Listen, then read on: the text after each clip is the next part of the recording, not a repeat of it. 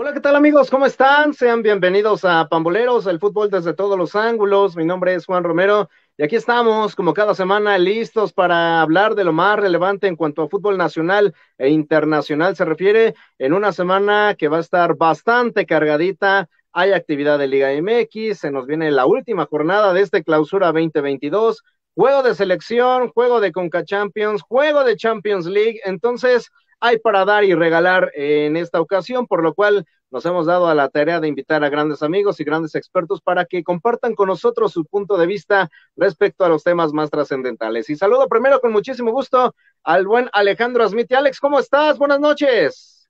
Hola Juan, buenas noches, gusto saludarte como siempre, igualmente a Fer, a Iván, a todos los que nos están viendo aquí en Pamboleros.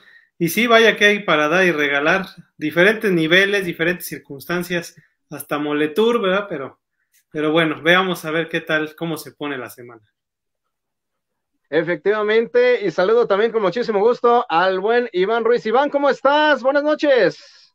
Hola, ¿cómo estás, Juanito? Fer, Alex, como siempre, un gustazo. Pues la verdad, se me fue el torneo como agua. De repente estaba yo en la jornada 3 y ya estoy en la 17. ¿De dónde salió? No sé.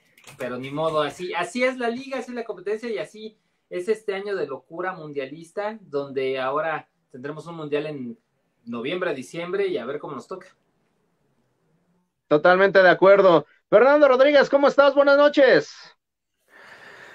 Buenas noches, Juan. Eh, por supuesto, saludar al buen Alex, a Iván. Como siempre, es un gusto tenerlos aquí con nosotros. Bien se mencionaba, ya estamos llegando a esa parte cumbre, esa parte de finalización eh, del fútbol a nivel internacional, pero eso no quiere decir que ya se haya acabado, porque lo mejor está por venir. Sin duda alguna, y bueno, pues vamos a comenzar, señores, porque se jugó la fecha número 16 de esta clausura 2022. Estamos a una de que concluya la fase regular de la Liga MX y tenemos un panorama bastante abierto, mi querido Alex, que sin duda alguna deja muchas cosas a la deriva, deja muchas situaciones abiertas para este último compromiso que pues nos va a arrojar el torneo mexicano. No sé, me gustaría comenzar contigo, Alex, preguntándote en particular el caso de la máquina celeste de Cruz Azul, que pierde este fin de semana frente al Atlético de San Luis como local. Y curiosamente, mi querido Alex, el Cruz Azul todavía no tiene obviamente asegurada su participación en esta liguilla de forma directa, está en reclasificación, tiene la posibilidad de meterse todavía entre los primeros cuatro, pero bueno, enfrente tiene nada más y nada menos que a las Águilas del la América. Esta debacle que podría decirse está atravesando el Cruz Azul, Alex, ¿crees que se deba en parte a lo que ocurrió a mitad de temporada, la salida de Álvaro Dávila y la llegada de Ordiales? Pues tiene que ver también este tema de directivo, sin duda alguna, porque desestabiliza por más que que se quiera pensar diferente, ¿no? O sea, obviamente el tema de que ya tenías un poquito acá de, alegría, de unión con Álvaro Dávila, todo su equipo, obviamente ahí estaba ya Juan Reynoso, pero aún así, o sea, pese a que sea es cierto, sí desestabiliza, y yo creo que pues sí le ha afectado a Cruz Azul. De todas maneras, si lo trasladamos a lo que han hecho en el campo los jugadores, y no quiero tampoco quitarle responsabilidad a Juan Reynoso, pero vamos con los jugadores, a mí me sorprendió mucho el partido del, del bueno, el, juego en Querétaro, o sea, el primero de la mitad de semana. La verdad lo ganó Cruz Azul, pero con una, un juego espantoso. O sea, la verdad, lo ganó porque Querétaro es peor equipo, de, la verdad, y porque se desmotivó después del problema de, de la violencia y todo eso, se desmoronó el conjunto de los gallos y obviamente ya no pudo trascender. Pero el encuentro con el Atlético de San Luis, solamente yo vi a dos elementos, la verdad, que mostraron ganas como de querer este que el equipo trascendiera, que tenía en sus manos el hecho de depender de sí mismo para la, para la clasificación directa a los cuartos de final. Solamente yo lo vi en Uriel Antuna, que la verdad trató de ser ese hombre que por la banda derecha fuera a desbordar, fuera incisivo, tratara de, de sorprender, de desequilibrar.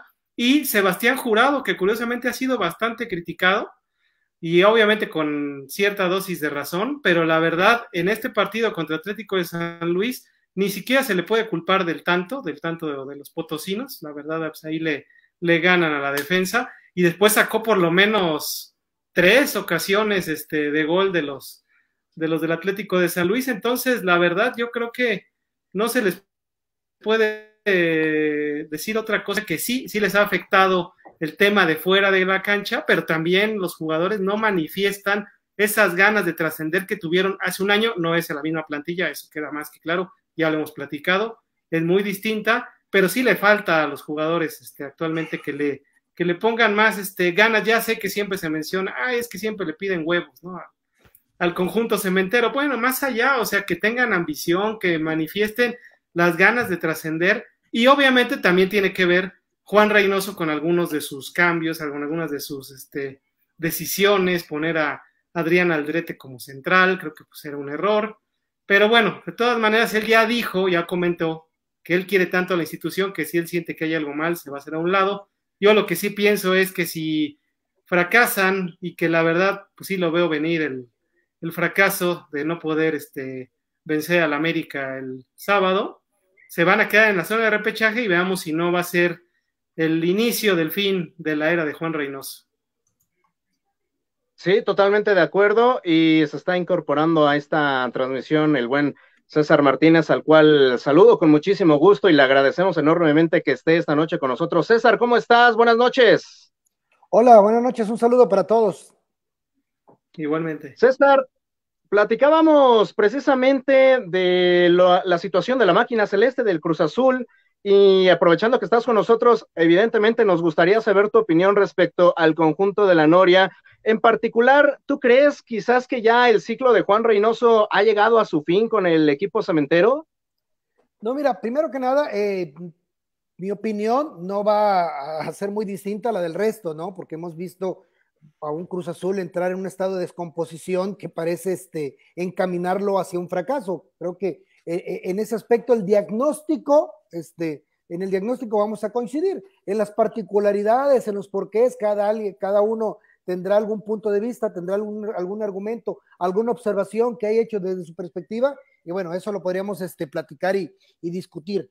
En cuanto al tema del final de ciclos, yo siempre he sido muy reacio a hablar de eso, porque creo que no, no es algo que le corresponda al periodismo, eh, señalar o plantear finales de ciclos, ¿no? De pronto, el periodista deportivo tiende mucho a desde su, desde su lugar, desde su asiento, subir el pulgar y bajar el pulgar como, como Nerón, ¿no? En aquellos tiempos, en donde señalas, eh, corran a él, traigan a él, este, esto ya no va más.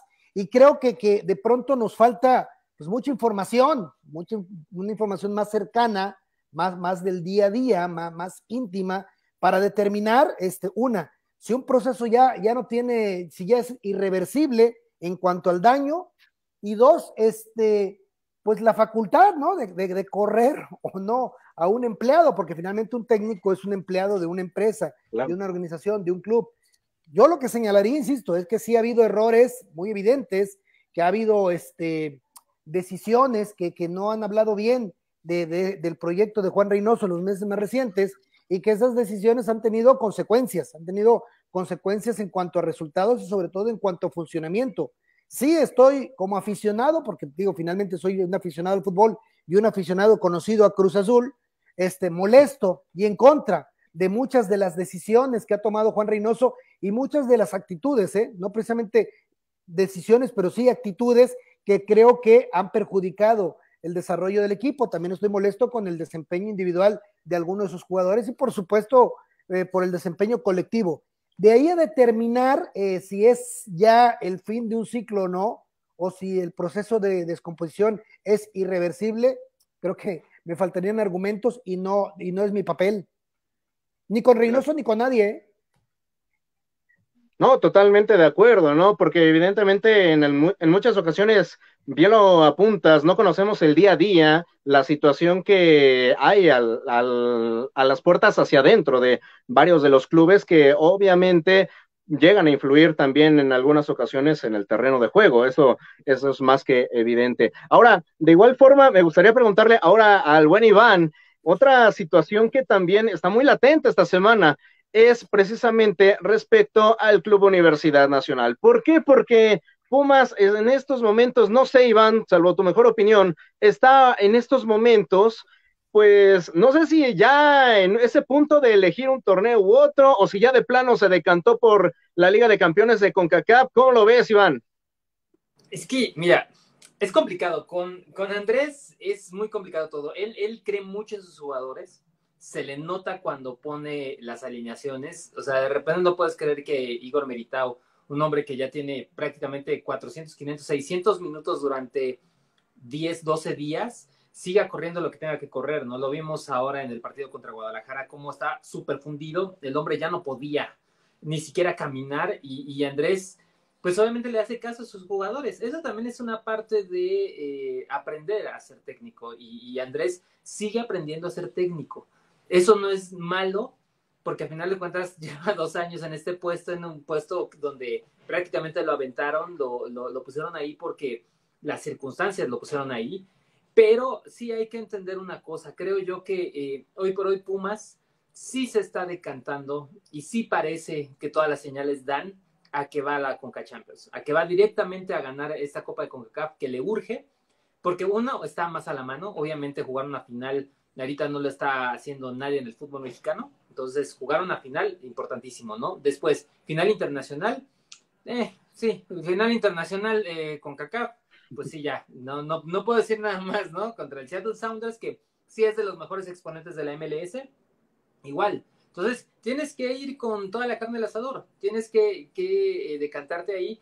Y bueno, todavía el, el, el, bonito, la bonita Liga MX que te da muchas bondades, todavía le dio a Pumas la bondad de que Toluca está muy mal, de que Santos está muy mal, de que todos están muy mal y le dieron muchísima vida ayer todavía, incluso el Querétaro le rascó todavía un poquito de vida a Pumas para que tuviera en sus manos tener eh, la posibilidad de calificar el próximo, eh, el próximo fin contra el Pachuca, ¿no? Entonces, eh, pero obviamente se van a decantar por la Conca Champions porque es un torneo internacional, es una final y porque se puede, ¿no? Ahora, esta es una exposición, ¿no? Hay que ver qué va a pasar en el partido, porque con tantas lesiones, sobre todo, el club había dicho que Juan Ignacio Dineno estaba eh, fuera prácticamente una semana. Pero eh, después empiezan a ver las contradicciones. Andrés dice en conferencia de prensa que, que puede estar para el miércoles. Eh, están acelerando procesos de recuperación. Hoy se le pregunta a Nacho igual si está bien. Él dice, no sé, voy a ver mañana. Y van día tras día, ¿no? Entonces, como que va pasando de, de, un momento a otro. Todavía no se sabe bien si va a estar listo o no. Igual lo de Leo, que, que a final de cuentas sí sí interviene esa patada tan terrible que le dieron en San Luis. Entonces, creo yo que, que, las cartas están jugadas. Pumas va a ir con todo mañana, con todo lo que tiene y con todo lo que puede. Porque también hay, hay que entender que Pumas no, no tiene mucha banca, que son muchos jóvenes que están en un proceso de formación importante. Pero es una final. Y yo creo que los aficionados, no le puedes decir a los aficionados, no, no, vamos a jugar con todo porque tenemos dos, dos, la liga y la copa. Y no, no le puedes decir eso. Tienes que ir paso a paso y creo que Andrés lo ha, lo ha entendido bien, que es si el jugador me dice que está bien, va a jugar. Esté con una pata de palo o esté medio tuerto, pero va a jugar, ¿no? Entonces, ni modo, así va a ser las cosas y mañana van a ir con, con el cuchillo entre los dientes contra un equipo que les va... Yo, yo pienso que la clave va a ser que si meten un gol aquí en Ciudad Universitaria, Pumas puede complicarse muchísimo allá en Seattle. Oye, Iván, este, ¿Pumas es favorito a tu parecer en esta final? No creo que haya favoritos en esta final, ¿eh? No, no yo los veo o igual de mermados, o igual de golpeados, o igual de hasta desanimados, porque recordemos que Seattle viene también de dos derrotas consecutivas. Eh, no, no le han pasado bien, pero tiene jugadores muy capaces. O sea, el, caso de Raúl Ruiz Díaz, que, que, obviamente lo conocemos del fútbol mexicano y que allá en Estados Unidos le está rompiendo. Eh, y además conocemos la dinámica. Eh, incluso sabemos que Pumas no quiso en su momento ejercer por temas comerciales, lo que ustedes quieran, no, no ejercer una presión eh, climática de decir, bueno, pues me lo lleva a las 12 del día, aunque, no haya, aunque haya tres, tres gentes ahí apoyando y lo que sea, pero pues sacas una ventaja climática en ese momento, pero no, obviamente la cosa comercial lleva a que Pumas juegue miércoles a las 9 de la noche eh, y las circunstancias como está ahorita el clima en la Ciudad de México, donde puede llover, pues también le, le, facilita mucho a los, a los estadounidenses, ¿no? Eh, no veo un favorito como tal, pero Pumas tiene la capacidad de sacarlo mejor en los peores momentos, donde se le, se le da por muerto, donde se le da por, prácticamente derrotado. Entonces, mañana lo importante va a ser qué tanta desconcentración ya no tienen, porque recordemos que los partidos contra San Luis y, contra Chivas prácticamente los jugaron pensando en, el partido del miércoles. Entonces, y, no, y no hay que ser eh, ningún mago o adivino para ver que eso era verdad. Están pensando totalmente en el miércoles. No estaban pensando en la liga. De que, que hoy tengan posibilidades es un rebote de la imaginación y de un rebote de que la Liga MX es muy condescendiente. Entonces, vamos a ver, pero no, favorito, favorito así claro, no lo hay. De acuerdo. Ahora, me gustaría preguntarle igual a, César, de igual forma, aprovechando que está con nosotros. César, ¿tú crees que la, está en riesgo la hegemonía del fútbol mexicano ahora que Pumas se enfrenta a Seattle Saunders? Porque es una, es evidentemente algo notorio que la MLS ha crecido en su nivel futbolístico. No sé si compartas que a lo mejor pudiera estar cada vez más cerca la ocasión en que un equipo de la MLS termine llevándose la famosa Conca Champions. Sí, por probabilidad matemática, pues es natural que cada año se acerquen a, esta, a esta posibilidad, ¿no? De, de, ganarla. Pero sí, de acuerdo a las circunstancias, de acuerdo al tamaño de los equipos y al momento de los equipos, creo yo que es una oportunidad, este, pues muy, muy grande para la MLS de por fin ganar el torneo. Yo hoy, comentaba, precisamente hoy hablaba con un amigo acerca de, este tema, de esta final, y yo le decía mitad en serio, mitad en broma, mitad en serio, que si la MLS no gana este año la Champions, la Conca Champions, van a pasar 10 años más, ¿eh? O sea, porque eh, una, otra circunstancia como esta en donde cerrar como local frente a un equipo que no precisamente tiene el mejor plantel de la Liga MX, que además tiene problemas por lesión, por lesiones, que además lo tomas eh, eh, en una situación crítica en su torneo de liga, en fin, todas estas circunstancias, ahora sí que todos estos astros para que se le vuelvan a alinear a un equipo de la Major League Soccer va a estar complicado. Entonces, este, yo a diferencia de, Iván, sí veo un favorito en este, en este dual meet. Yo, yo veo ligeramente favorito al Seattle Sounders, sobre todo por el tema de cerrar como local, que no es un dato menor pero también pienso que si la Major League Soccer no gana este año en la Conca Champions, insisto, no la ganan en los próximos 10 años, ¿eh? De acuerdo, sí, va a ser una serie bastante, bastante emocionante, porque sin duda alguna eh, ahí están los ingredientes, es una final. Y Pumas, bien lo mencionaba también Iván, ¿no? En muchas ocasiones cuando parece que el equipo está derrotado es cuando ha llegado a dar esas grandes hazañas, esos grandes partidos, y más en recientes fechas de la mano de un hombre como Andrés Lilini. Ahora, Fernando Rodríguez, volviendo un poquito a lo que es el Liga MX, también un equipo que anda cerrando con todo, sin duda son las Águilas del la América, Fer, que han sorprendido, creo yo, a propios y extraños. Un equipo que estaba prácticamente desahuciado de la mano de Fernando Ortiz, hoy por hoy incluso tiene la posibilidad matemática de entrar de forma directa a la liguilla. ¿Crees que lo consiga, Fer? Eh, es complicado que consiga entrar eh, de manera directa. ¿Por qué? Porque al final de cuentas, pues todavía tiene ahí arribita al conjunto del Atlas y a Puebla, ¿no? Que si al final terminan sacando eh, las tres unidades, pues América se quedará en quinto lugar si saca la victoria ante el equipo de Cruz Azul, pero ah, es una sorpresa, sí, es sorprendente que América haya podido levantar, ¿no? Y, y, estar arañando esa cuarta posición tras un torneo que yo lo repito, que en esencia pues ha sido regular a malo, ¿no? En su inicio bastante, bastante malo del conjunto americanista, pero ahí está peleando eh, esta seguidilla de partidos eh, con victoria que se mencionaba que los equipos no estaban al nivel. Bueno, entre benevolencias y no benevolencias, pues América necesitaba sacar esos tres puntos a como diera lugar y con la problemática que tiene de gol, podríamos llamarlo de esta manera, que se ha tenido que repartir entre otros elementos más allá de, los delanteros del conjunto de las Águilas. Y también, eh, pues ya llegaron estos partidos que se desea que son de, de referencia, que sí son parámetro y creo que América hace su mejor partido ante Tigres. Creo que América eh, funciona muy bien ante el conjunto eh, que dirige Miguel Herrera. Vimos a un buen eh, Diego Valdés, por supuesto. Creo que es el mejor partido del torneo de Jorge Sánchez, definitivamente.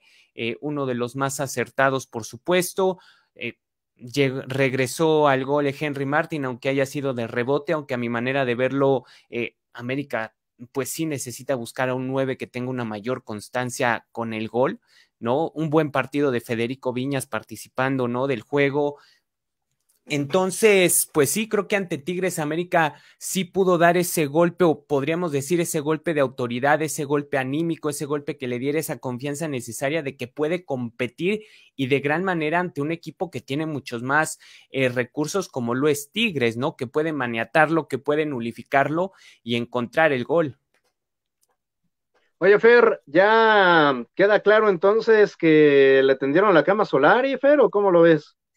Había cositas que al parecer no gustaban, otras sí, pero bueno, creo que este América todavía después de la salida de Solari poco a poco eh, le costó recuperarse, pero bueno, al final yo decía, tenía que encontrar esa sinergia positiva como diera lugar, dando tumbos, encontrando el gole por este suerte o por causalidad, como ustedes lo quieran ver, pero creo que con eh, eh, Tan Ortiz encontró esa estabilidad, encontró ese bombero que pudiera calmar las aguas y que este equipo pudiera caminar y enfocarse en esta recta final que ya, pues como bien lo mencionabas, ¿no? Está a tres puntos de poder inclusive clasificar de manera directa o al menos tener la ventaja en el partido de repechaje. De acuerdo, y que, pues vaya, al final de cuentas parecería que también se le están acomodando las cosas, ¿no? Cierra con Cruz Azul que viene ligeramente a la baja, y de igual forma, Atlas, que es uno de los equipos que ahorita está arriba de ellos, va contra Tigres. No sería raro que el equipo rojinegro por ahí tuviera un empate o un descalabro y América pudiera escalar posiciones, por lo cual, bueno, creo que le da todavía un mayor interés a ese compromiso del clásico joven. Alejandro Asmitia, de igual forma, me gustaría preguntarte, para ti, ¿qué equipo está cerrando mejor, América o Guadalajara? Pues yo creo que América, este, sin duda alguna, lo que ha hecho el América es de resaltarse. También lo de Chivas, pero son menos ahorita, menos partidos. O sea, no, recordemos que lo habíamos estado mencionando en los últimos encuentros de Marcelo Michele Año, ¿no? Que no había estado jugando tan mal, pero no se le daban los resultados hasta que ahora llegó Ricardo Cadena. Pues ya ahora sí que encadenó tres victorias, ¿no? El conjunto rojiblanco, pero lo del América viene de más allá, o sea, el América, como bien lo mencionaba este Fer, le costó trabajo a Altán Ortiz de inicio porque sí, el equipo se veía sin ánimo, sin profundidad, sin espíritu, o sea, le faltó, le, faltaba bastantes cosas y poco a poco lograron encontrar la confianza. Es también importante señalar en el caso de América, porque el año del torneo pasado, que fueron líderes este, generales con Santiago Solari, tenían a la famosa diosa Fortuna también de su lado, o sea, la verdad, siendo sincero, de repente tenían un funcionamiento que no era el adecuado, pero sacaban el resultado, ¿no? Y en esta ocasión así le ha pasado, o sea, ¿qué pasó en Tijuana?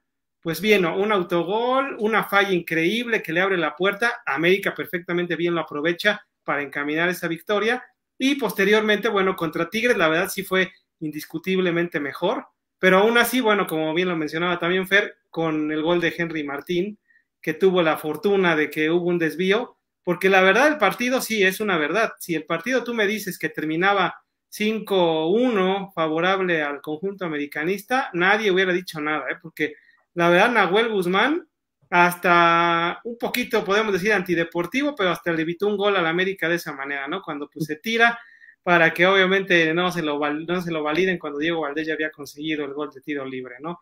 Y obviamente pues, sacó algunas otras, otra más a Diego Valdés este, en la segunda mitad. Entonces, la verdad, América fue superior, pero hasta tuvo esa ventaja, ¿no? Para Henry Martín quitarse esa presión de no marcar. Entonces, yo la verdad creo que sí, el conjunto americanista es el que llega en mejor momento para la liguilla y cuidado, porque pues obviamente todos lo sabemos, que si hay un equipo que la liguilla la sabe jugar, aunque en los últimos años no ha podido, eso también es una verdad, pero finalmente históricamente es el América, ¿no? Donde casi siempre está mínimo en semifinales, de hecho es el equipo que más semifinales tiene, ahí lo han eliminado también muchas veces, pero también es el conjunto que tiene más series por el título, ¿no? Entonces, el chiste del América va a ser, veamos a ver contra Cruz Azul, yo pensaría que, que puede conseguir la victoria, ver si se le combinan los resultados, coincido también con, en el caso de Fer, con el tema del Atlas, y bueno, contigo, Juan, que dijiste del tema del Atlas, va contra Tigres, que finalmente yo no creo que Tigres quiera terminar el torneo con tres derrotas al hilo, entonces tratará de evitarlo.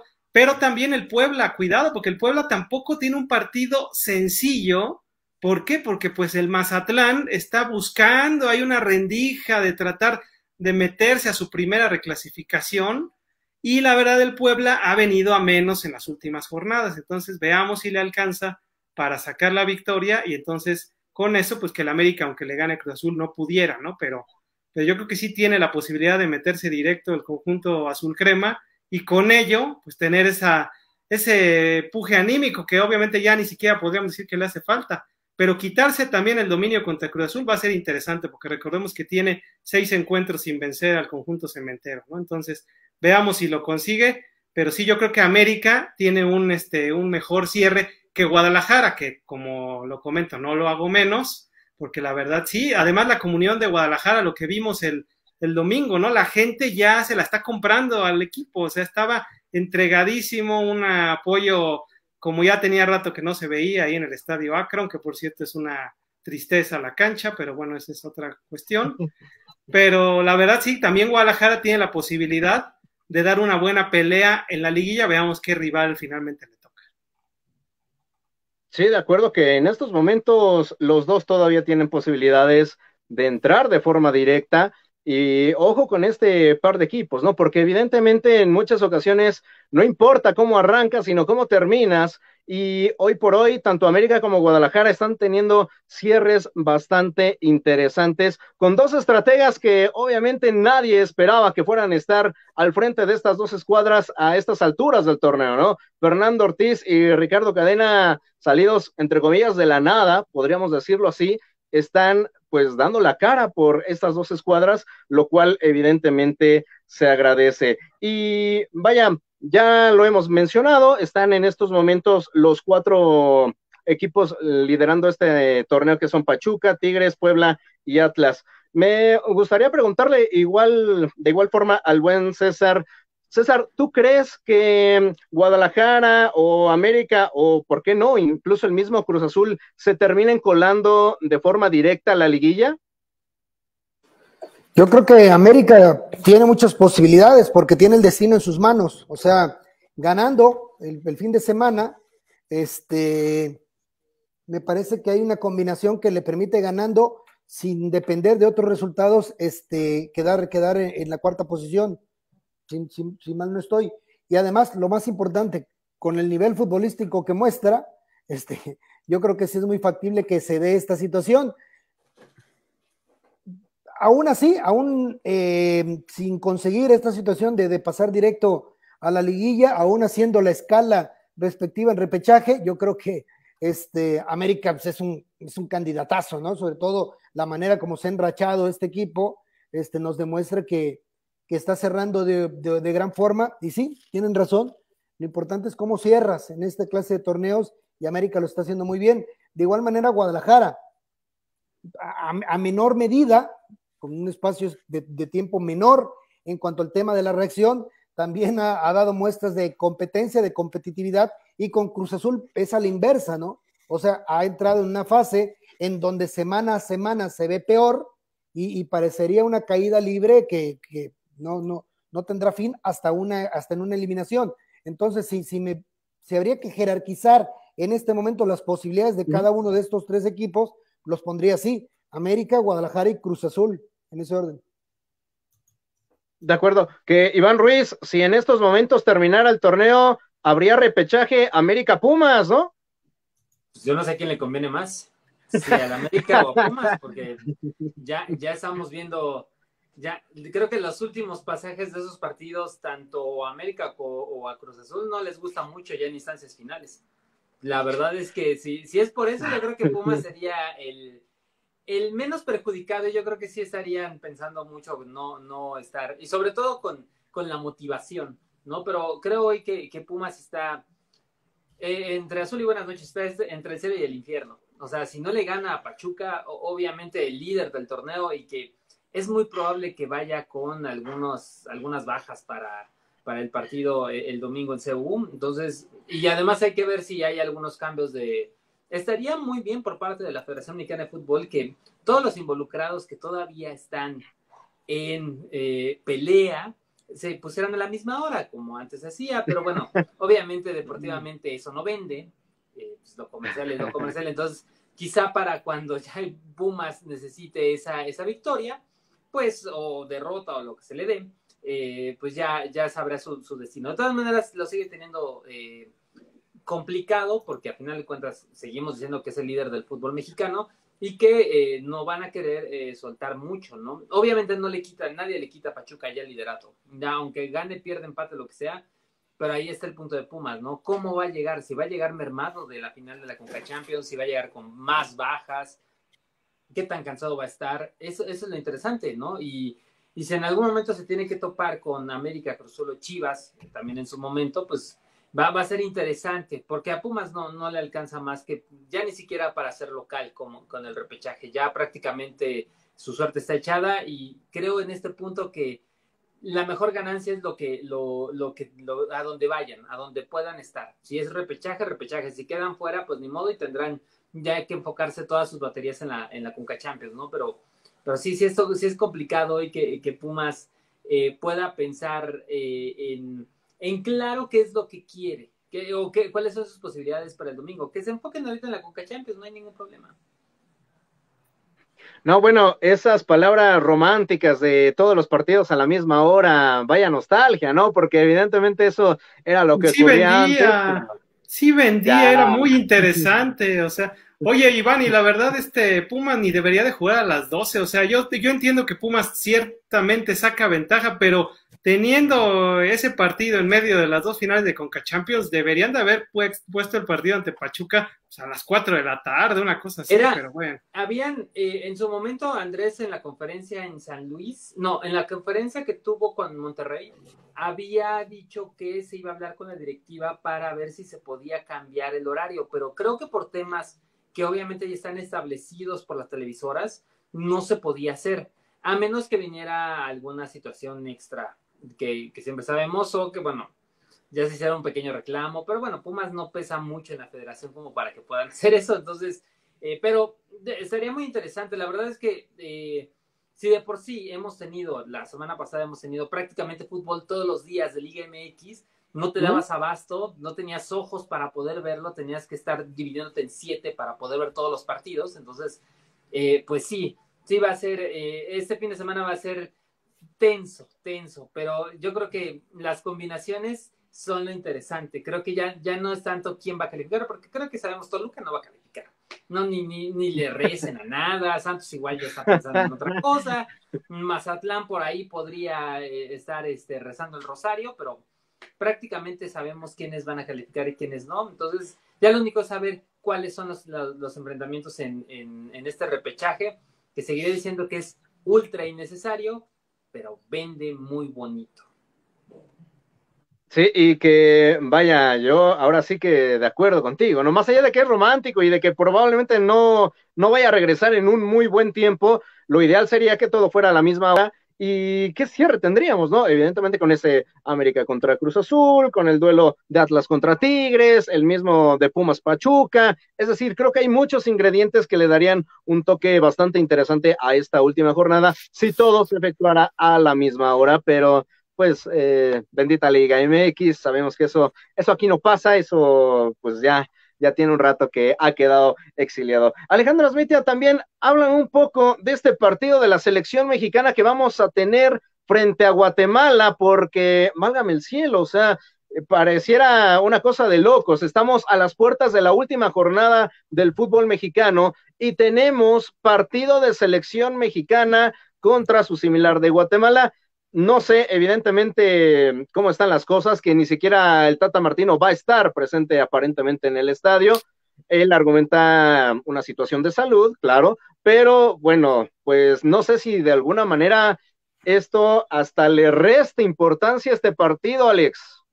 Así es, este Juan, en realidad ya sabemos qué es, es el poderoso caballero y el contrato que se tiene con la empresa Zoom, ¿no? Para los encuentros de la selección mexicana, el famosísimo Moletour, que ahora sí con todo lo que da, porque es contra Guatemala, o sea, ¿qué le puede dejar a la selección nacional que además pues, no puede tener a sus principales elementos? De todas maneras, ni lo necesitaría porque sería un riesgo innecesario, o sea, la verdad. Ya ven ahora qué este, felicidad, ¿no? Que le decían al Palermo este, Ortiz de, de estar en la selección. No, pues no, el Palermo Ortiz ya que está con Pumas en la final de la Conca Champions. O sea, está increíble esa circunstancia. Y bueno, ahí a ver, veamos, ojalá le dé la posibilidad a la distancia, obviamente, Gerardo Martino, o, finalmente, para que veamos por lo menos a Marcelo Flores, ¿no? O sea, hay que intentar de que al menos sacarle algún provecho a este tipo de encuentros. Han de estarse ahí los del Arsenal diciendo ojalá no lo vayan a lesionar. Yo sé que tampoco Marcelo Flores es ahorita el hombre que, que está esperando que sea el salvador de los Gunners, pero pues sí es interesante que tenga alguna posibilidad de ver acción, no como las últimas convocatorias donde lo metían ya en el tiempo de compensación, pues ahí que le podemos ver a Flores, ¿no? Entonces, ojalá le sirva nada más a Martino, pues para ver algunas otras, otros elementos que pudieran ser contemplados, pero como ya lo hemos platicado aquí una y otra vez, creo que todos hemos coincidido, ya el equipo ya está más que cantado, el equipo que va a ir al Mundial, obviamente a menos que viniera una lesión muy importante. Desgraciadamente le hacen falta algunos elementos al combinado mexicano. Veamos si alguno levanta la mano y ahí trata de demostrarse para tener alguna posibilidad. Pero sin duda alguna este partido es de esos que, como lo hemos mencionado varias veces, está metido con calzador y en serio, porque no es posible que tengamos un partido de selección mexicana previo a la última fecha del torneo mexicano con final de Conca Champions y obviamente, bueno, hasta con Champions League en semifinales. Sí, totalmente de acuerdo. Y de igual forma me gustaría preguntarle al buen César Martínez, César, esta convocatoria plagada de jóvenes, obviamente todos de Liga MX, salvo el caso de Marcelo Flores, pero ¿tú crees que alguno de estos chicos tenga la posibilidad real de colarse en la lista final para la Copa del Mundo de, finales de este año? Muy difícil, muy, muy, muy difícil. O sea, yo entiendo que Gerardo Martino ya tiene un proyecto, a ver, él tiene un proyecto, ese proyecto se llama Qatar 2022, o sea, ni un día más, ¿no? Una vez que termine eh, eh, eh, la Copa del Mundo de, Qatar, termina este proyecto y listo, a otra cosa.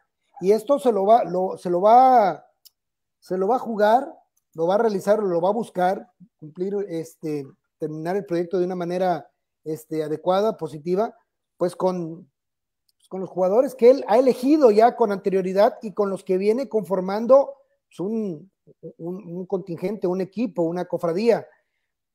No, yo, yo no veo este, más allá de, este partido para la gran mayoría, para prácticamente todos estos futbolistas, porque no es la intención, no son los tiempos, está muy cerca ya la Copa del Mundo, no es la intención de Gerardo Martino eh, llevar dos o tres jugadores pensando a futuro, pensando en el 2026, pensando que aunque tuvieran poca actividad o nula actividad en la Copa del Mundo, vivieran la experiencia mundialista. No va a ser el caso, ni siquiera en el tema de la portería, porque este, sus porteros los tiene bien, bien elegidos y son futbolistas de arriba de 35 años todos. Este, Entonces no, no veo siquiera la intención ¿no? de, que, de que la presencia de algunos de estos futbolistas el miércoles trascienda más allá de lo que es este cumplir esto, un compromiso eh, administrativo, un compromiso contractual, eh, jugando contra, contra Guatemala en Orlando. De acuerdo. Ahora, a ver, Fernando Rodríguez, ya prácticamente te hicieron la tarea tanto Alex como César, pero me gustaría preguntarte, ¿qué le deja a final de cuentas este compromiso contra Guatemala a la selección mexicana?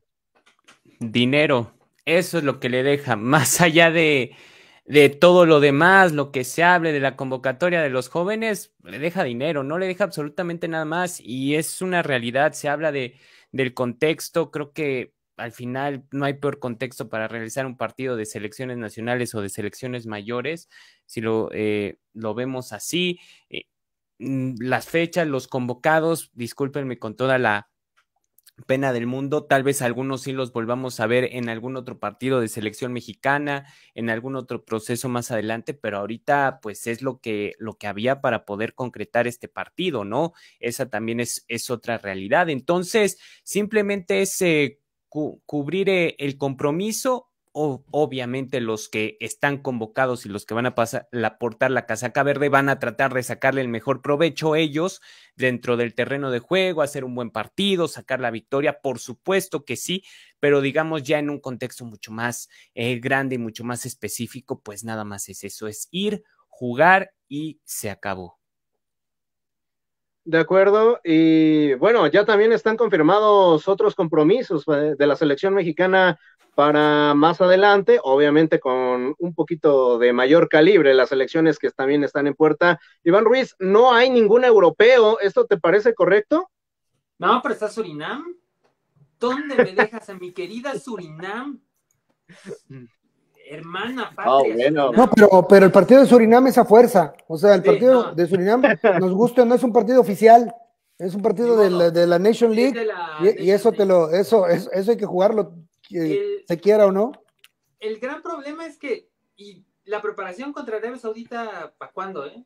Porque yo veo todos los, eh, todos los rivales de la selección, y sí, sí falta un europeo, y, obviamente vamos, quieren ir contra Brasil, quieren ir contra Uruguay, eh, todas estas, estas nuevas, estos nuevos partidos, pero y Arabia Saudita, ¿qué? O sea, de verdad, realmente estamos menospreciando a este rival que que obviamente eh, sí, sabemos toda la trayectoria que ha tenido en Copas del Mundo y no es halagadora, pero también es uno de los invitados recurrentes a Copas del Mundo y yo creo que de, eh, no, menospreciarlo o ponerlo abajo está bastante mal, ¿no? Entonces, eh, a final de cuentas, creo que, que, hoy por hoy la selección mexicana de aquí al Mundial se va a tener que ceñir bajo lo que se ha diseñado bajo Zoom y bajo la Federación Mexicana que eh, todavía no, no da a entender si, si realmente estaban preparados para una preparación previa a un mundial o no. no, lo quiero, no, no, lo quiero saber. Yo, o sea, quiero, entender que sí, porque a final de cuentas, obviamente, con las credenciales que tiene Gerardo Martino, creo que la selección podría tener muchísimos mejores, eh, eh, ¿cómo se llama?, rivales. Nada más con ese hecho de la presentación de, de tener ahí a ese director técnico, pero de ahí en fuera, pues no, no, no me deja. O sea, lo, lo que va a suceder el, el miércoles es una bizarrez. Pero, a ver, sería, a ver, hablan de una, de una preocupación y está bien, ¿eh?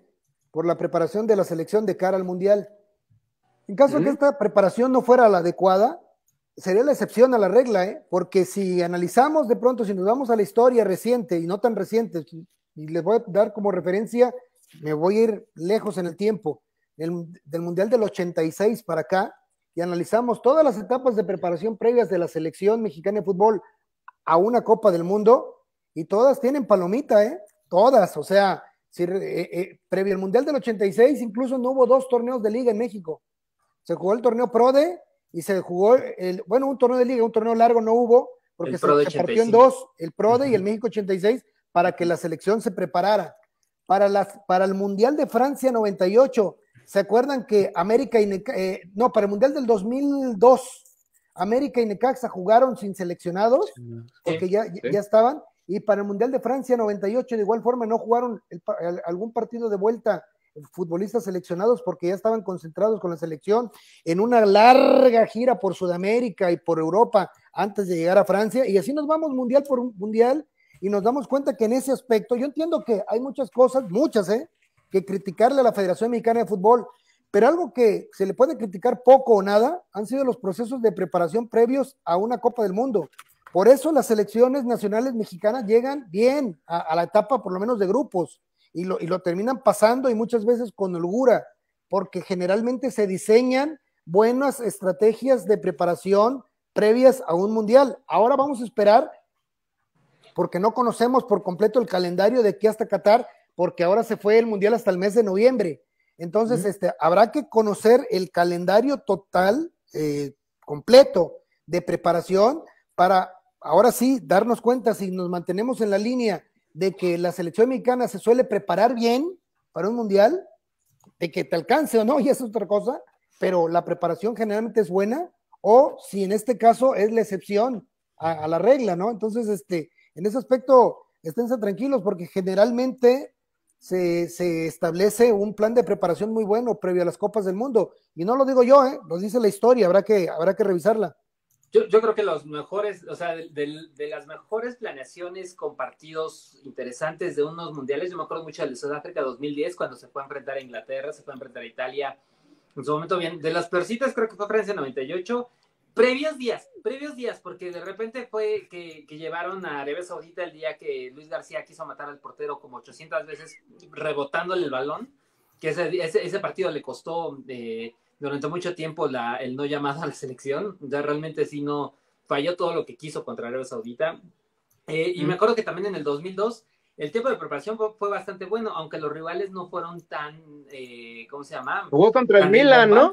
Jugó contra un equipo de Tokio, me acuerdo que jugó contra el Milan, en su momento no fue tan así, o sea, tuvieron que irse prácticamente un mes a, Japón y de ahí encontraron... Pero para esa, para esa clase de eventos, el, el técnico valora más el tiempo que tienen los jugadores que incluso los partidos y, la calidad de los rivales. un año previo tuvo eh, eh, esta Copa América donde eh, Javier Aguirre tuvo pudo haber pudo probar algunos de, estos jugadores que, después le sirvieron bastante para, para la Copa del Mundo, entonces no tuvo tanto problema. Hoy, hoy Gerardo Martino tiene esta cosa llamada CONCACAF Nations League que puede probar ciertos puntos donde está plaqueando pero yo creo que ya los tiene totalmente eh, escogidos. O sea, no, no, yo no veo ninguna duda.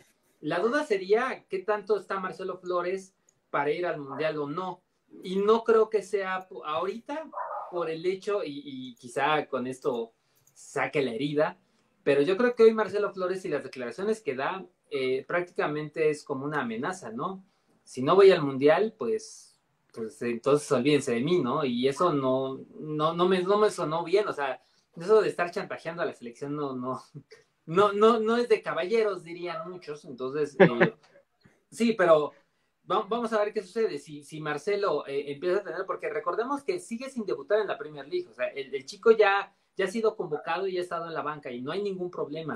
Pero mientras no juegue en la Premier League, todavía no es un jugador tan de elite. Tiene, el chico tiene 17, 18 años. Entonces, apenas está en una formación y en la Premier League donde es eh, un, momento importante para un jugador llegar a, ese tipo de, competencia, va a ser interesante, pero no sé si sea su papá que es su representante o las ganas de, Canadá de estar diciéndole, yo sí te voy a llevar a la Copa del Mundo, vente con nosotros, etcétera, etcétera, que, están haciendo que estas declaraciones sean muy desafortunadas.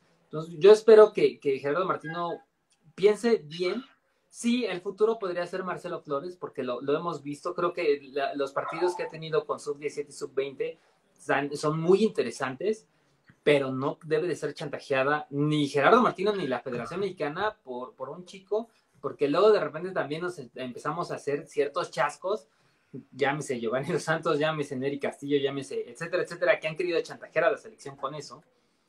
Eh, y, luego pues nos llevamos la gran sorpresa de que no era lo que todo el mundo esperaba ni era la expectativa que teníamos. Entonces, bueno, este partido, vamos a verlo como es. Mucho dinero, mucho moletour, mucha, este, mucho shopping entre todos, ver al Palermo Ortiz para los que somos eh, aficionados a Pumas y para los que son aficionados del Atlas de llorar porque no están otros que sí deberían de estar. Entonces, bueno, en fin, eso es lo que va a significar el partido del miércoles. Oye, y sobre partidos de preparación, ahí también recordar que en Sudáfrica se logró un partido con una selección que se llama Gambia, o sea que es un país pequeñito que está ahí buscando que se pareciera más o menos a lo que iba a ser Sudáfrica, ¿no? Entonces, el día que llovió, llovió y llovió. Exactamente. Javier Hernández estaba nadando más que estaba en el área, sí, sí me acuerdo perfectamente. Fue contra Gambia. En este caso sería interesante, pero como bien dice César, veamos qué finalmente logran. Sí vería yo para un rival parecido, similar a, este, Arabia Saudita, pues sería genial concretar uno con el anfitrión Qatar, porque además, obviamente, el anfitrión Qatar pues tiene a, Ecuador, ¿no? Que más o menos podría pensar que es similar a la selección mexicana, podría pensarlo, o de última, pues que fuera Emiratos Árabes. Emiratos Árabes. No sé qué.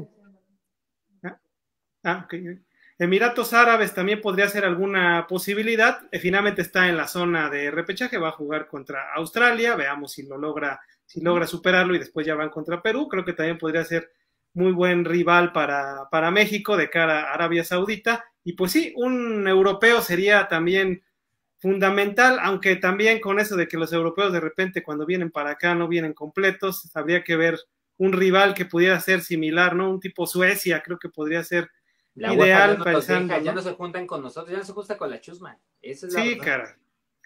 Pero bueno. Sí, de acuerdo. Y, de hecho yo recuerdo también, previo al Mundial de 2006, se enfrentó a Holanda y se enfrentó a Francia en suelo europeo, ¿no? Partidos que se perdieron, sí, pero que evidentemente no eran, eran sinodales importantes y obviamente equipos que probablemente más adelante te podías enfrentar en una fase definitiva. Bueno, por lo pronto tenemos este compromiso ante la escuadra de Guatemala, dirigida por el Flaco Tena, lo que son las cosas. Ahí está Luis Fernando Tena, el estratega que nos dio el oro en Londres 2012, dirigiendo al cuadro guatemalteco que hasta el momento creo lleva dos partidos dirigidos, los dos los ha ganado, y bueno, pues ojalá le pueda servir de algo al equipo mexicano. Y rápidamente, Alejandro Smitia, hablemos un poco de lo que se va a venir esta semana, semifinales de UEFA Champions League, porque ya tenemos en puerta estos compromisos, son Liverpool frente a Villarreal y el Real Madrid frente a Manchester City. ¿Quiénes son tus favoritos, Alex, para avanzar? Pues la verdad creo que en la, la, del Liverpool, que obviamente es la segunda que se va a disputar en esta ocasión, porque es el juego el miércoles, veo muy favoritos a los Reds, o sea, creo que como lo platicamos la semana anterior, de los cuatro creo que es el que llega en mejor momento, más pleno, entonces yo creo que es amplio favorito, pero aún así el Villarreal no tiene nada que perder, o sea, llega a un conjunto que ya está en la zona más alta que se podría imaginar, yo creo que puede tratar de detener a los, este, a los delanteros del conjunto este, rojo, que ojo, detuvo a Lewandowski, pero también siendo sincero, detuvo a Lewandowski y evitó también a Müller, ¿no? Que, que Müller es más característico de enviar servicios, ¿no? Este, justamente al polaco. En este caso está más complicado porque obviamente tienes a Mané o tienes a, a, este, a Salah o a Origi, o sea, sí hay una variedad más en el ataque del conjunto de los Reds, pero como el Villarreal no se juega más, o sea, Villarreal para ellos llegar a esta instancia ya es lo más importante, entonces pues no pierde nada y creo que puede darle una pelea, pero sí veo favorito al conjunto de los Reds. Y en la otra serie, pues ya mejoró un poquito, parecería, o sea, como que se levantó el ánimo el conjunto del Manchester City, ¿no? Ahora el fin de semana, por lo menos mantuvo el liderato de la Premier League, o sea, el Liverpool sigue, no cede, se mantiene ahí peleando, pero sigue un punto arriba el conjunto de los Citizens, el conjunto de Pep Guardiola, y eso quizá le da cierta motivación de medirse a un Real Madrid que prácticamente, bueno, la liga ya la tiene, como lo mencionamos este, hace un rato, o sea, ya el Real Madrid es campeón de la actual temporada en la liga española. Entonces, la verdad es el conjunto de prosapia, de leyenda, el más importante en la historia de la Liga de Campeones, por lo que yo, la verdad, lo veo como favorito sobre el conjunto de Pep Guardiola. Veamos si el equipo de inglés, los Citizens, logran este, imponer su estilo, porque además el Real Madrid sabemos, y con Ancelotti, no necesita el balón para hacer daño, obviamente lo tendría que tener de City, pero hay que ver el momento de plenitud que tiene Karim Benzema, ¿no? Y también no hay que quitarle mérito, la verdad, a Rodrigo creo que está haciendo un buen trabajo también ahí adelante, y el propio Vinicius también, ¿no? Entonces, yo creo que puede ser una gran serie si el City recobra la esencia que había tenido al inicio de la temporada. Pero yo creo que la final va a ser Real Madrid-Liverpool. Ok, César Martínez, te pregunto, ¿tú crees que tengamos final española, final inglesa o final mixta? ¿Qué creo? ¿Qué quiero? Este, Las dos aplican. No, y, bueno, creo que en este caso va a combinar porque Liverpool, Villarreal, pues tiene un favorito muy evidente, ¿no? A pesar de, todas estas circunstancias y de esta historia de, Cenicienta de Villarreal y, siempre la posibilidad de, de dar otro campanazo, pues y en el papel, potencialmente, pues tienes un, un, equipo muy favorito, un equipo muy superior, que en este caso es el Liverpool, ¿no? Y en la, y en la otra eliminatoria, es que yo llevo eliminando al Real Madrid como tres este, instancias atrás. Y, algo sucede que siguen con vida, pero no voy a cejar en el empeño en esta ocasión y, me mantengo en que hasta aquí, este, hasta semifinales. Entonces sí, veo final inglesa. Veo y quiero final inglesa. De acuerdo. Fernando Rodríguez, ¿tendremos final española, final inglesa o mixta? Eh, yo creo eh, que será final mixta. Eh, yo creo que será final mixta. El Liverpool sí es superior al Villarreal. Creo que le va a costar. O sea, creo que sí el Villarreal va a poner eh, un poco. ¿Vas Villarreal contra City, Fer? No, no, no, no. Creo que el Villarreal va a poner en predicamento a Liverpool, pero al final el conjunto de, de Jürgen Klopp sacará la victoria. Es un equipo mucho más dinámico que el Bayern, tiene mucha más presencia ofensiva y al final acabará cediendo el equipo de Unai Emery, pero del otro lado veo un partido mucho más eh, cerrado. Creo que al final de cuentas, si el City quiere clasificarse a esa final, deberá utilizar recursos que antes no había utilizado, que apenas inclusive se le vieron algunos en el partido ante el Atlético de Madrid. Eh, sí, el City es un equipo muy armónico, definitivamente muy mecanizado. Eh, es prácticamente hecho a la imagen y semejanza de, Pep Guardiola, pero todavía le faltan ciertos aspectos para dinamitar al City que creo que ahí el Madrid eh, lo, lo, podrá forzar, no debe de hacer un suicidio deportivo definitivamente mañana en el Manchester, ¿no? Debe de ser un partido muy inteligente y yo creo que al final el conjunto español, el conjunto merengue acabará clasificándose en la vuelta a esa final de Champions. Iván Ruiz, de igual forma, final española, mixta o inglesa. ¿No pueden devolver al Inter? Por ahí. en fin, este. Creo yo que va a ser una final mixta, pero sí creo que hay que eh, engrandecer lo que ha hecho el Villarreal. Creo que lo que ha hecho Unai Emery es de verdad de locos, algo que no veíamos pues, obviamente desde el 2005 con, con eh, Pellegrino y esa ese Villarreal de Forlán y de Riquelme que eran, eran impresionantes. Hoy, hoy creo que la baja de Gerard Moreno, porque todavía no saben tampoco si va a jugar o no va a ser interesante, pero sí Liverpool tiene muchísimas mejores armas. Creo que Klopp ya sabe por completo eh, qué es lo que puede dar o no su equipo, eh, aunque hoy Mohamed Salah no tenía el mejor momento. Eh, lo sigue sosteniendo de una mejor forma, o sea, ya está anotando en prácticamente todos los duelos donde estaba. Eh, creo que ya se está otra vez entendiendo con Sadio Mané. Eh, igual la parte de que, de que no sea Firmino el tercero en Discordia, ya, ya al final ya es como un, eh, un relevo de lujo y, meter mejor a Luis Díaz, que, que, hoy por hoy es quizá la sensación en Europa, ya lo están poniendo como, como el chico sensación. Y sí, obviamente ha, tenido unos destellos de, habilidad impresionantes. Lo, que está haciendo Luis Díaz, yo se los dije desde, la Copa América que Luis Díaz era un jugador que iba a ser top ultra top eh, eh, en los próximos meses y mira, ahí está con el Liverpool brillando. La otra llave es la más interesante, pero al mismo tiempo, si, si, yo me, si yo me fijo en lo que dice Fernando, que es mecanizada y todo, hay que flojera, mejor que gane el Real Madrid, porque sí, eso, eso de estar este, viendo robots jugar fútbol, pues, no está chido.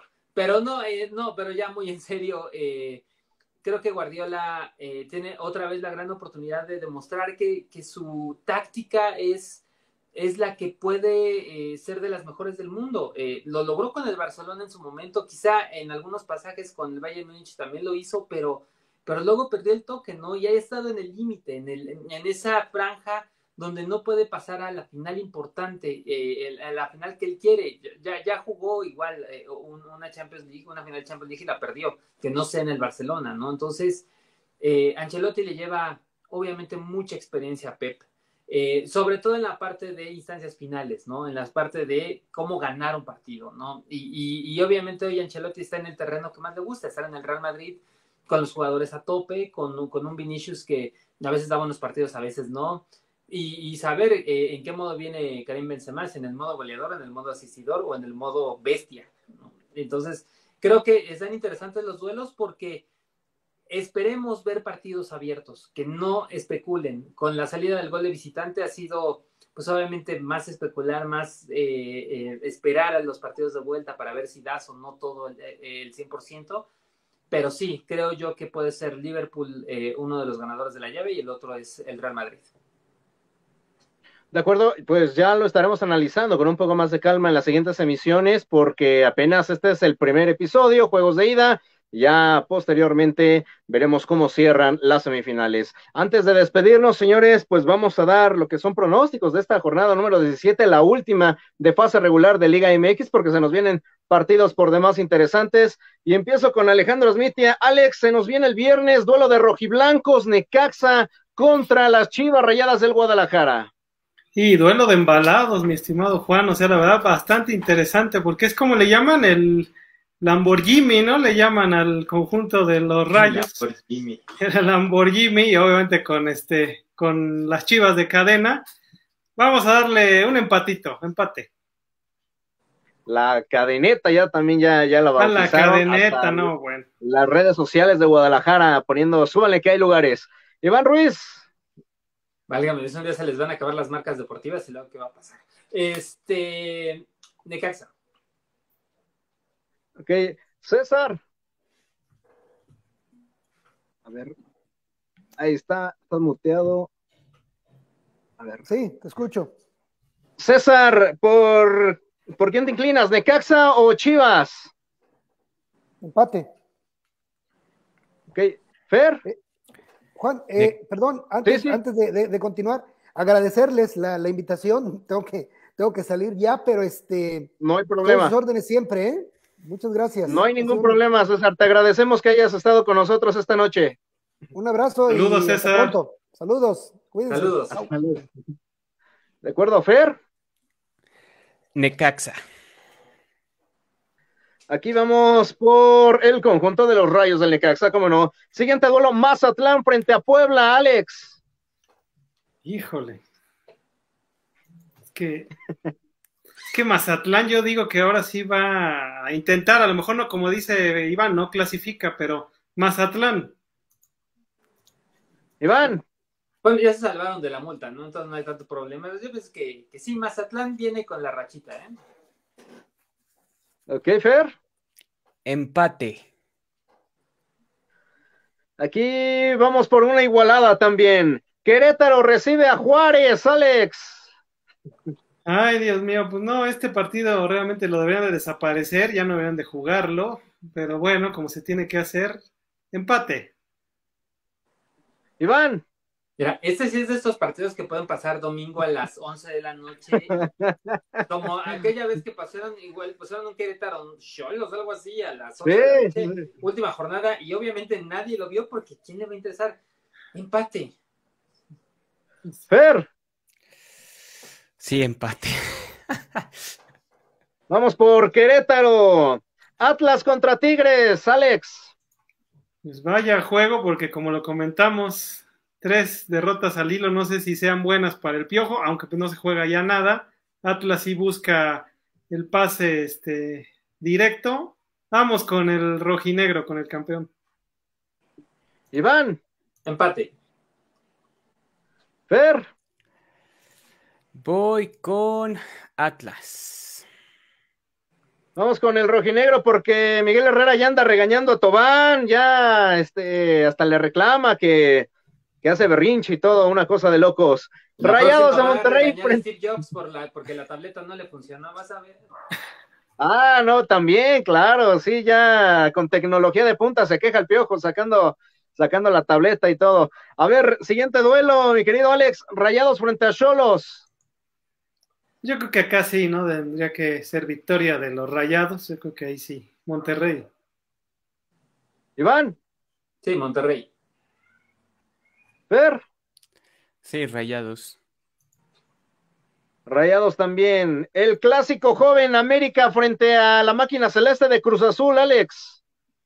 Pues como ya lo platicamos, yo creo que es el momento idóneo del América para quitarse el dominio reciente de Cruz Azul y mantenerse embalado en la liguilla. Ojo ahí nada más, Fer, porque eso de llegar con tanto triunfo consecutivo de repente en la liguilla resulta contraproducente. Le convendría a la América una derrotita a tiempo y todo, pero la verdad no la veo. América. Iván, Debería de ser este el partido de la jornada. Espero que no, de verdad, que no defrauden, porque luego estos clásicos jóvenes, híjole. Pero bueno, se la voy a dar a la tanoneta. Viene el América. Fer, Eh, voy con las águilas. Definitivamente. Ah, híjole, vamos con un empate. Pumas frente a Pachuca, Alex. Pues a este partido Pachuca ya no se juega nada, es un encuentro a las 12 del día, pero hay que tener mucho ojo en eso, eso ya no lo comentamos hace rato, rápido lo comento. Pachuca ya no se juega nada, pero tampoco puede meter a puro suplente porque después de ahí ya no vuelve a tener actividad hasta dentro de un ratote y eso de repente al líder le pesa, ¿no? A los que clasifican directo. Entonces, híjole, sin saber cómo le va a Pumas este, en la ida de los Seattle Sounders, y Pachuca suele jugar bien en Ciudad Universitaria, o sea, si hay partidos de, de Pachuca jugando bien en CEU, empate. Iván. Como siempre, el Club Universidad Nacional Autónoma de México va a ganar este partido y va a clasificar rayando como siempre. No, bueno, es que aunque no gana, como bien lo decías, Iván, no sale de zona de repesca, ¿eh? Ahí está. este... O sea, gana, gana, empata, solamente que vengan resultados locos, eh, Pumas no, no, no clasifica, aún, y aún perdiendo todavía podrá clasificar, pero yo creo que sí, Pumas puede ganar por el hecho de que quizá puedan estar, eh, Pachuca no va a meter todo al fondo, pero bien dice Alejandro que no tienen 10 días, no van a jugar, por ahí van a jugar alguna amistosilla y ya con eso. Sí, sí, sí. ¿De acuerdo, Fer? Empate. Vamos aquí con una igualada también. Tendremos también San Luis contra Santos, Alex. Yo creo que acá el San Luis va a redondear su, su posición. De hecho, creo que va a estar buscando quedar un poco más arriba. Santos Laguna ha sido una de. Se cayó, o sea, había mejorado con Fentanes, pero en las últimas jornadas se ha caído. Y la verdad, yo creo que Atlético de San Luis. Iván. Empate. Fer. Atlético de San Luis. Vamos con San Luis también. Y finalmente, León frente a Toluca, el partido que cierra la fecha número 17, Alex. Si no gana este León, no sé, entonces ya va a ser, obviamente ya lo va a hacer, que no va para ahí, bueno, obviamente creo que sí, pero sí, León, ¿no? Sin duda alguna, porque Toluca, la verdad, al final está demostrando por qué decíamos que estaba más arriba de lo que me decía su funcionamiento. No, León. Iván. Híjale, León. Fer. Pues sí, la fiera. Vamos con, vamos con León, sí, porque lo de Toluca también es una desgracia. Ya incluso andaba, incluso merodeando puestos de, de multa, lo cual, pues, es una, pues, una, una, lágrima para un equipo que usualmente estaba acostumbrado a pelear lo más alto durante varios años. Y ya no lo platicamos, pero también aparentemente ya hubo movimiento de franquicias en Liga Expansión, desaparecieron al Tampico Madero, existe un nuevo equipo en el fútbol mexicano, el Atlético La Paz, que pues válgame el cielo, a ver cómo le va, porque parecería algo no similar cumple. a lo de Mazatlán. Bueno, la verdad es que habrá que esperar, pero hay una nueva plaza en el fútbol mexicano y es en Baja California, el Atlético La Paz es nuevo integrante de la Liga Expansión. Y ya nos vamos. De verdad, muchísimas gracias, señores, por habernos acompañado en una emisión más. Alejandro Smitia, como siempre, un placer. Muchas gracias, Juan, como siempre, estar aquí contigo, con Fer, con Iván, con todos los que nos están viendo. Y pues sí, a ver todo, a ver si nos damos tiempo para presenciar todo. Obviamente, denle prioridad, por favor, a lo que vale más la pena, ¿no? Para que sí, no se, no se vayan a aburrir el México Yendo a la selección. Claro que sí, sí, ¿no? todo, con todo. Que por cierto, el, el de Pumas es nueve y media, ¿no? El de partido de Pumas es nueve y media, por cierto, esas finales este, en un horario lamentable para la gente que va al estadio, pero bueno, para uno que lo va a poder ver en la Vamos- TV, vamos veamos correr- si Pumas lo Vamos a correr al Metrobús, no hay ningún problema. Correcto. Gracias.